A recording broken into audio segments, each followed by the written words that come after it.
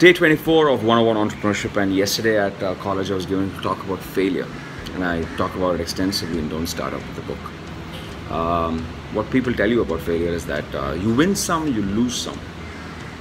What they don't tell you is you win some, you lose a lot many. Because the ratio of success to failure has to be 1 is to plenty in order for that success to be a sweet and real.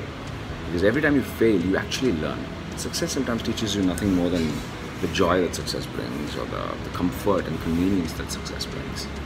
Failure brings you a lot of tangible learnings because you get pinched, you get hurt, and then you eventually learn.